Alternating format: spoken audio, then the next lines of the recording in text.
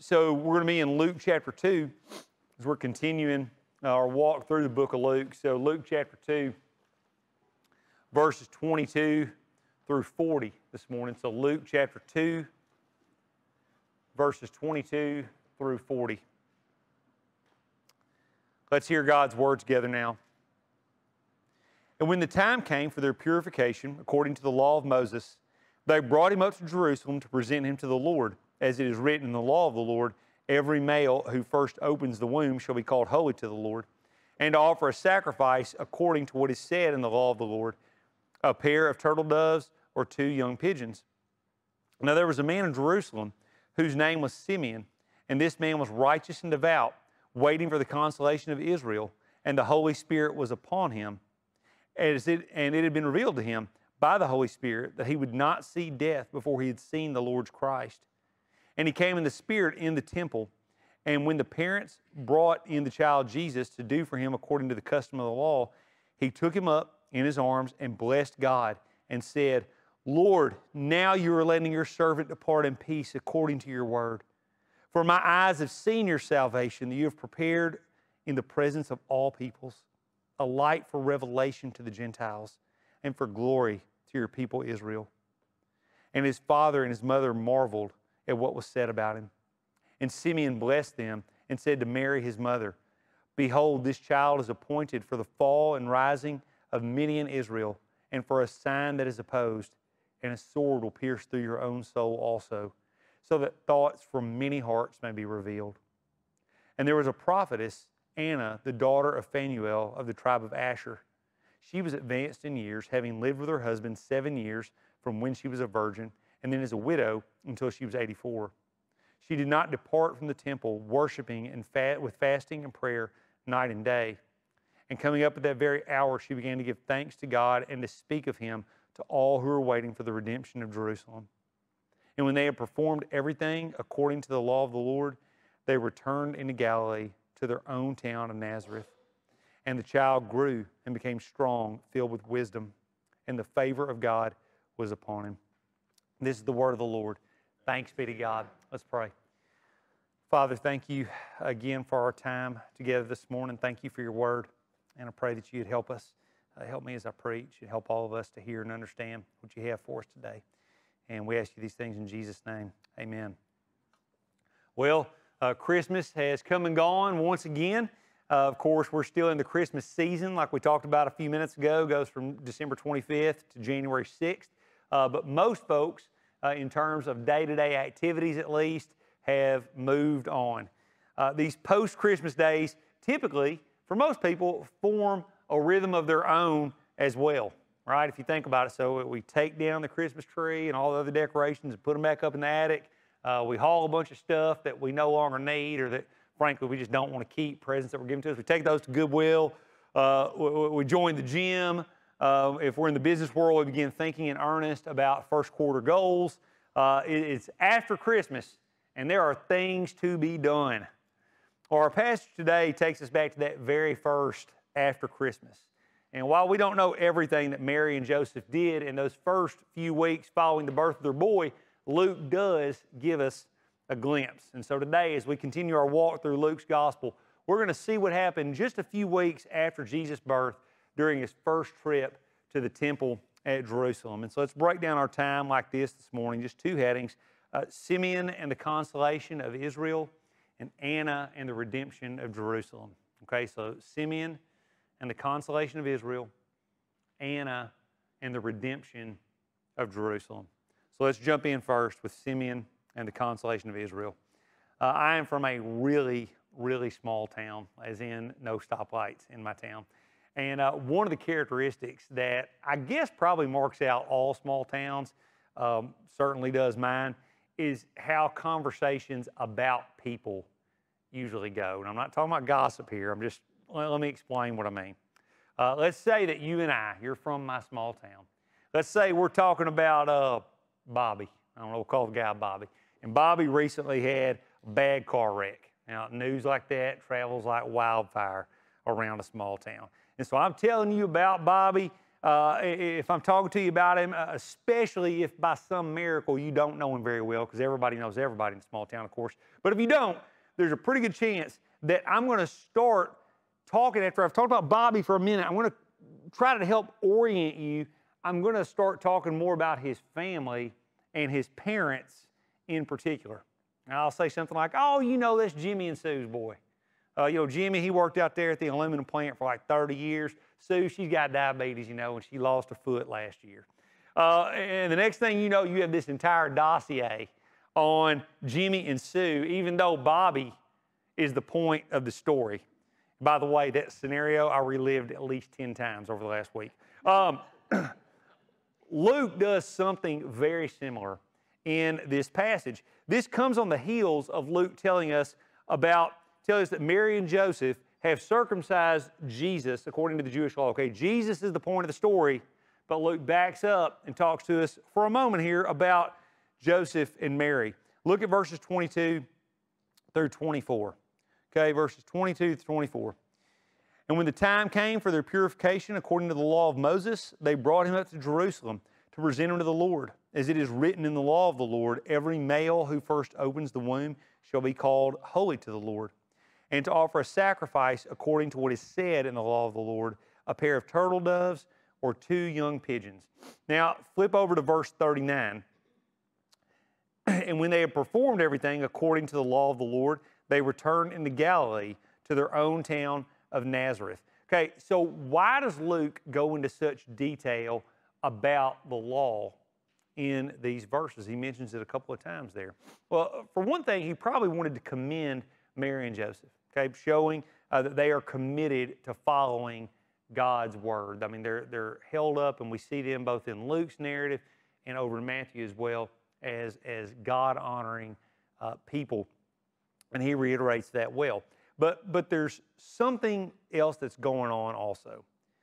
Remember, we've talked about this several times so far uh, in our walk through Luke that his overarching purpose is to show how God's unfolding rescue plan okay, that we see from the very beginning of Genesis, how that unfolds and reaches its culmination in the person and work of Jesus. So, way back in Genesis 12, God had told Abram, later Abraham, that he would give him countless descendants. He, he told Abram that he would bless them and that he would make them a conduit of blessing to all the families of the earth. So, Abraham's descendants uh, through his son Isaac and grandson Jacob would come to be known as the people of Israel, the Jewish people. Throughout their history, God continues to reiterate his promise to send them a rescuer and continue telling them and showing them that he does love them, that he will be with them no matter what. And so God's plan with them has been working itself out uh, from the time that they became a particular nation after the Exodus from Egypt. So at Mount Sinai, uh, God gives Israel a law to live by, rules that would govern their conduct as their individual and corporate lives unfolded. Of course, did people do a good job of that? Nah, huh? They, they didn't obey that law very long at all, and certainly with nothing like wholehearted devotion. As a Jew, those were the rules that Jesus would live by as well. But he was different.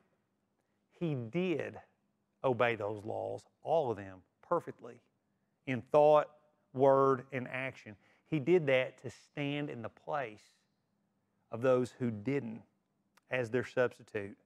See, Luke is showing us that from the very beginning, even when Jesus is nothing more than a passive participant, his life is marked by perfect obedience to, perfect conformity to God's law, his word.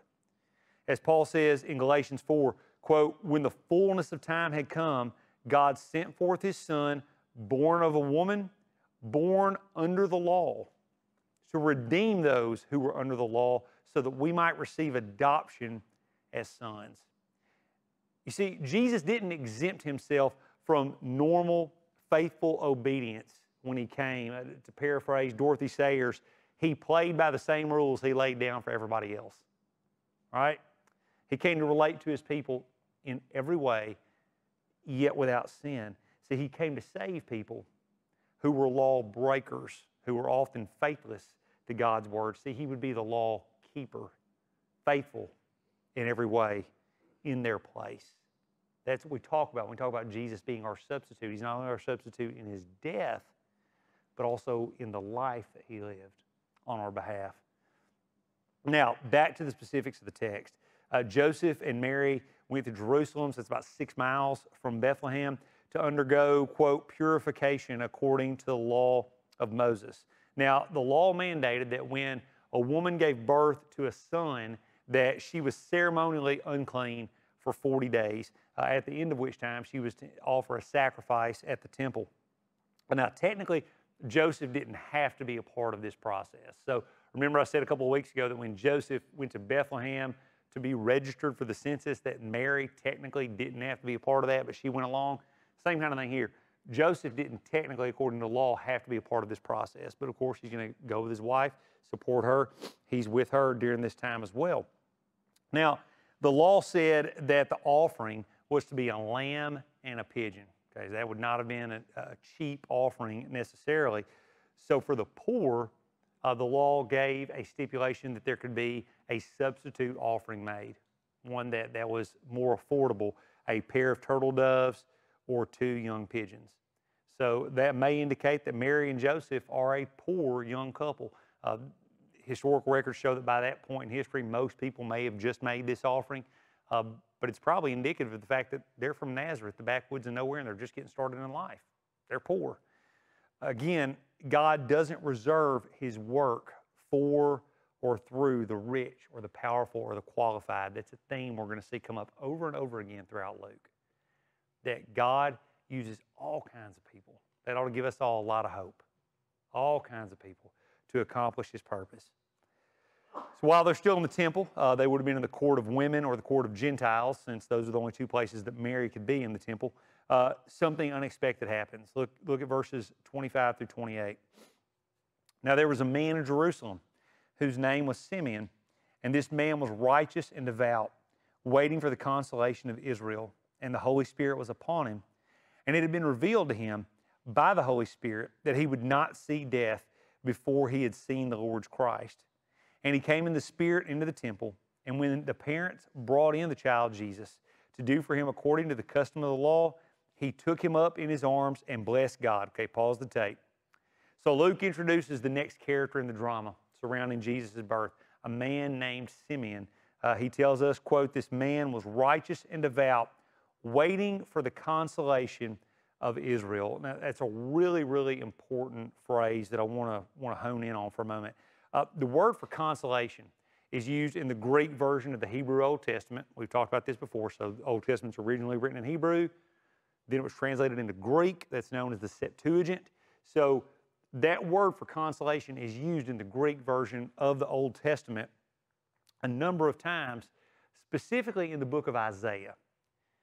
The reason that's important is Isaiah is known by scholars and has been for a long time. Uh, some scholars call it the fifth gospel because it tells us so much about the, the life, the death, the resurrection of the coming uh, Redeemer, the Messiah, Jesus, and what he would do. In those passages in Isaiah, God is talking about how he's going to rescue and show compassion to his people, how he's going to comfort them. That's what consolation means. So Isaiah 40, verse 1 says this Comfort, comfort my people, says your God. So it's that same word for consolation. Isaiah 49 13. Sing for joy, O heavens, and exult, O earth, break forth, O mountains, into singing, for the Lord has comforted, same word, his people and will have compassion on his afflicted. Now, isn't that interesting? That the book that talks the most in the Old Testament about the coming of the rescuer is also the book that makes such frequent use of this word for consolation the very thing that Simeon was waiting on. You see that? How that connection comes together? See, Simeon's life is defined by waiting on God to bring these promises to fulfillment. In God's kindness, the Spirit was upon him, the text tells us. Uh, Luke then tells us what the Spirit's doing in Simeon's life. He's revealing to him that he was going to see the Messiah, the consolation that he'd been waiting on. And then he takes him to the temple that day to see this consolation in the flesh, the flesh of a newborn baby. That brings us back to the temple. Simeon sees baby Jesus, walks up, takes him into his arms. I mean, that would have been a shock. this day and age, Simeon's getting arrested for doing that, okay? Like, but you can imagine what kind of a shock that would have been, right? This, this old man just walks up out of the crowd and grabs your baby. Uh, and then he begins to bless God, to praise him. Lord, now you are letting your servant depart in peace according to your word. For my eyes have seen your salvation that you have prepared in the presence of all peoples, a light for revelation to the Gentiles and for glory to your people Israel. Uh, church history knows this little section as the Nunc Dimittis, which is the Latin phrase for now dismiss. So it's from the very first part of that prayer or that blessing, if you look at what Simeon says. Uh, Simeon sees this boy and he knows he's seen God's salvation. He's seen the consolation of Israel. He's holding the consolation of Israel. And so now he can leave and die in peace, knowing that things will be set right, knowing that God has kept his promise. And I want you to notice how Simeon describes this. Okay, during Advent, uh, I noted that when Mary and Zechariah and the angels who talked to shepherds talked about God's promises being fulfilled, the focus was upon him keeping his promises to who? Israel, right? Like that's, that's the focus. Now, there were hints that God's rescue plan also included the Gentiles, just as there were in the Old Testament prophecies about the Messiah's significance. But those notes were being played softly, kind of in the background, okay, they were for, for the meantime. But here, God's love for both groups takes center stage. Notice, salvation you have prepared in the presence of all peoples, a light for revelation to the Gentiles and for the glory of your people Israel. Salvation you've prepared in the presence of all peoples, a light for revelation to the Gentiles, so non Jewish people. He's saying we're going to know God's salvation as well through Jesus. See, Jesus is God's word in the flesh of, revel- of God's character and his intention to all peoples, all tribes, all languages. That's a favorite theme we're going to see throughout Luke's writings, both in Luke and in Acts, which is appropriate since Luke is what? He's a Gentile, right? God's mission is worldwide. In fact, we're a testament to that reality here today, right? Think about all the, the ethnic, linguistic, tribal uh, backgrounds we all come from, okay? I mean, if we did a 23andMe right now, almost every nation on earth will be represented in just this room to some extent or another. See, like, that's a fulfillment of what gets said right here. You see that? But this salvation would come through the Jewish people. It says, for glory to your people Israel. So God used them to bring the Messiah into the world and be the first to preach the gospel and the first to establish churches. And He's continued to bring Jewish people to faith throughout the generations. Their scriptures, their history, their suffering, they would be vindicated through the coming of the long promised, long hoped for Messiah. See, Jew or Gentile, Simeon is telling us the hope of the world is found in Jesus. It's found in Jesus, y'all. That's it. No other candidates, no other hope. One game in town is Jesus and what he's done for us. Over, uh, uh, and once again, uh, Mary and Joseph find their heads spinning. Verse 33 and his father and his mother marveled at what was said about him. See, every time they think they've heard it all, something else happens. So, verse 34 uh, tells us that he blesses Joseph and Mary, but then he turns his attention especially to mom. Verses 34 and 35 Behold, this child is appointed for the fall and rising of many in Israel, and for a sign that is opposed, and a sword will pierce through your own soul as well, so that the thoughts from many hearts may be revealed. Now, so far, from the angel who visited Mary uh, to Elizabeth to, uh, to Zechariah, all these people, to the angels, to the shepherds, to Simeon's initial blessing, everything's been positive about Jesus up to this point, right? Everything has been positive. But now we get the first hint that there's trouble coming. Jesus would be the great dividing line in people's hearts. Some would embrace him, others would reject him. Uh, during his ministry in Matthew 10, Jesus says this Do not think that I have come to bring peace to the earth. I have not come to bring peace, but a sword. For I've come to set a man against his father, and a daughter against her mother, and a daughter in law against her mother in law. And a person's enemies will be those of his own household. Whoever loves father or mother more than me is not worthy of me, and whoever loves son or daughter more than me is not worthy of me. And whoever does not take his cross and follow me is not worthy of me. Whoever finds his life will lose it, and whoever loses his life for my sake will find it. Those are hard words. Like you don't typically see those stitched on a pillow or on a mug, right? You don't see that, but that, that's what's being said here. Yes, Jesus is the Prince of Peace, but he wasn't universally loved and followed then, just like he's not now. And that causes a divide, even to the level of family, even to the level of our own hearts, as he says in that passage. But but he also notes in that Matthew passage that losing our lives, in other words, giving up control of our lives for his sake, is where we find true life and true joy. And for Mary, says a sword would pierce her soul. Now, that word for sword in the Greek is a term for a broadsword, a big sword. Mary would experience the pain of loving her boy who would be so often hated and maligned a boy she couldn't entirely comprehend, a boy who would end up on a Roman cross, though he was heralded as the hope of Israel since before his birth. Mary's life shows us, among other things, that serving God is not an inoculation against hardship. It's not. God promises that one day He will wipe away every tear from every eye, but this side of glory, things are really, really hard sometimes even when we love God, even when we follow Jesus. But as Mary would tell us, and as Jesus did tell us, it's worth it because He's our Redeemer, He's our rescuer. And that takes us to our next point Anna and the redemption of Jerusalem. Uh, as some of y'all know, I office uh, out of a local coffee shop right down the street. I'm there 20, 30 hours a week, sometimes more, uh, usually sitting at the same spot. I pay one flat fee per year, uh, which buys me hot tea every day. So I'm good to go. Uh, more times than I can count. In fact, I had this happen to me the day that we left town uh, a couple weeks ago. I've had people walk up to me, sometimes people I don't even know, and they'll say to me, Do you ever leave here?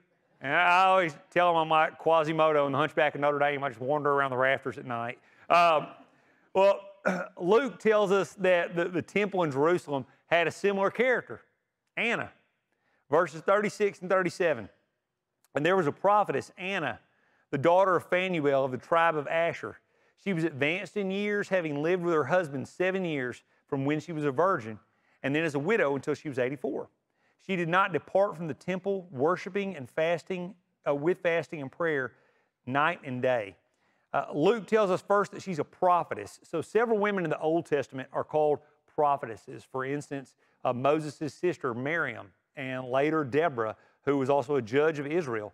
Uh, they were vehicles of God's revelation to his people, just as the prophets uh, like Samuel, Elijah, and Isaiah had been. So Luke's letting us know right off the bat that God is about to speak through Anna. He's about to use her in a particular uh, redemptive way. Now, depending upon how we take the, the Greek, the text might say that uh, she was an 84 year old widow, uh, or it might say that she has been a widow for 84 years. And if she was 12 or 13 when she was married, which was common uh, then, and then widowed as a 19 or 20 year old, uh, she would be about 104 years old at this point.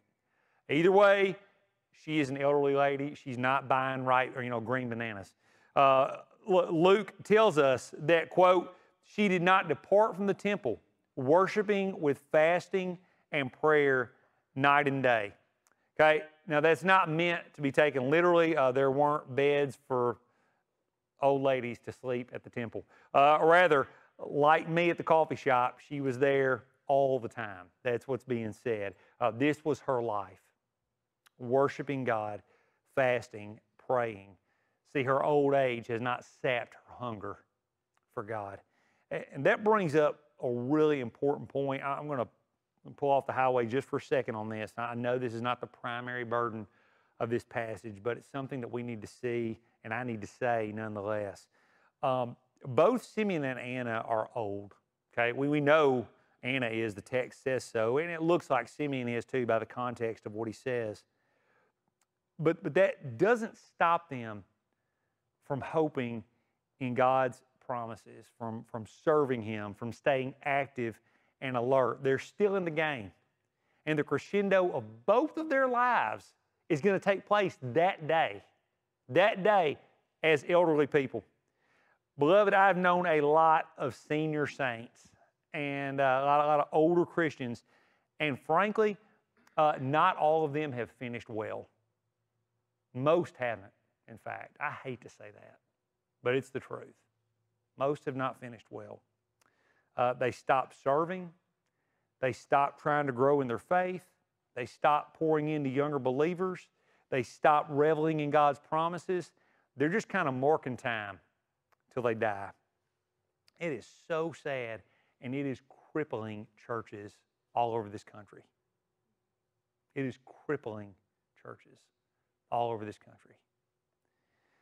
If that's you, if you're doing that, and your heart knows, um, do you realize what you're cheating your brothers and sisters in the faith out of when you do that? You realize what you're doing? You're robbing us. I mean, I know I'm old, but I'm not that old. You're robbing, so I'm going to say us. You're robbing us of experience and perspective that we cannot possibly have right now. You're taking it and you're keeping it. You're putting it under a bushel. Okay? Um, do you realize what you're cheating yourself out of? You take yourself out of the game, out of the flow of, of the church's life. Okay? Do you realize how you're squandering the gifts that God's given you? Gifts you're still going to be responsible for when you stand before God one day. He's going to ask, How'd you use those last 10 years? How'd you use those last five years? And I was old and I didn't feel like it is not an excuse. And it will never be an excuse for any of the rest of us as we age either. Please remember this sermon. Remember what I'm saying right now. Been a pastor for 20 years. I've seen this more times than I can count. Don't, don't be that person. Don't be that person. This is not the time to back down. Please don't. Um, how you serve may look different depending upon health or life circumstances, etc. But that's the case with everybody. You may not always serve in the same roles. You may go at a different pace. The point is to stay in the game. Keep proactively following Jesus, beloved. The church needs you. The church needs you. And I hope this passage encourages you to that end. Okay, back to Anna. Luke gives us another interesting biographical tidbit. She is, quote, the daughter of Phanuel of the tribe of Asher. Uh, back in the Old Testament, uh, after the reign of King Solomon, David's son, the nation of Israel undergoes a massive fracture. So the northern kingdom is comprised into 10 of Israel's 12 tribes, and they were known simply as Israel. So they had their own line of kings, their own center of worship in Samaria, and most of the historic Israelite territory. The southern kingdom uh, was comprised of Judah and then the little tribe of Benjamin, and they were centered around Jerusalem and the south. Okay, they had their own line of kings, their own center of worship in Jerusalem. So in 722 and 721 BC, the Assyrians sweep in and conquer Israel, sending its inhabitants into exile, scattering them all over the Mediterranean world.